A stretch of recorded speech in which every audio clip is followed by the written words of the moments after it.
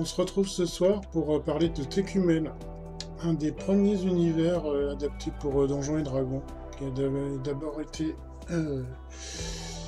adapté à compte d'auteur en 74, 1974. Donc là, on voit des figurines qui ont été adaptées des illustrations qui sont présentées ici. Je vais vous en montrer quelques-unes. Voilà. Après, il faudra venir pour les voir plus en détail. Notamment, euh, je pense que c'est celle-là qui a été reprise. Voilà. Donc on reconnaît les illustrateurs, euh, les premiers illustrateurs des, livrets de Donjons et Dragons.